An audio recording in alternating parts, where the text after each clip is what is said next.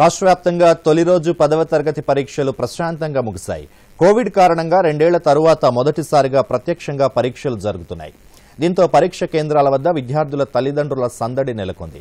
రాష్ట్ర వ్యాప్తంగా రెండు వేల ఎనిమిది వందల అరవై ఒక్క కేంద్రాలను ఏర్పాటు చేశారు.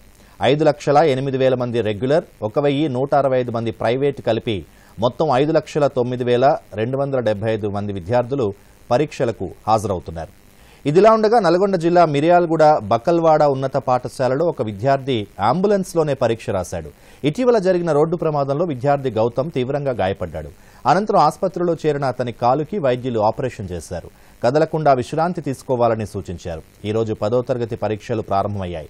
దాంతో పరీక్షలు మానడం ఏమాత్రం ఇష్టం లేని గౌతమ్ అంబులెన్స్లోనే పరీక్షా కేంద్రానికి వచ్చాడు సూర్యాపేట జిల్లా పాలకీడు మండలం సజ్జాపురం నుంచి పరీక్ష రాయడానికి ఎగ్జామ్ కేంద్రానికి చేరుకున్నాడు.